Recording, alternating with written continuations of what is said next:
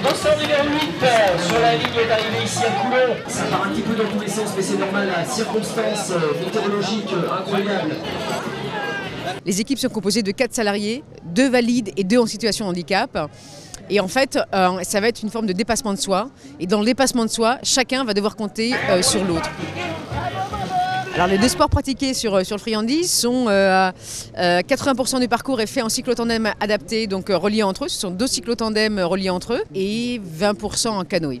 Pardon Le départ il est là-bas, non I love rock and roll.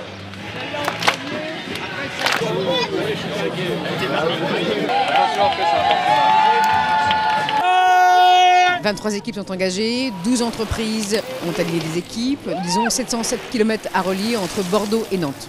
C'est une, une grande aventure que auquel on participe depuis, depuis quelques années avec euh, différents salariés de la Massif. Il fallait y participer pour, euh, pour le vivre et, et pour comprendre euh, quelle ambiance ça crée. On a plein de formes de handicap qui sont présentées, enfin qui sont présents au sein du Friandise Trophy et avec les valides. Et ça fait, il y a une cohésion qui me semble très importante. C'est un superbe message à passer aux entreprises. On arrive à faire de belles choses et c'est la même chose qu'on peut faire reproduire dans le monde du travail.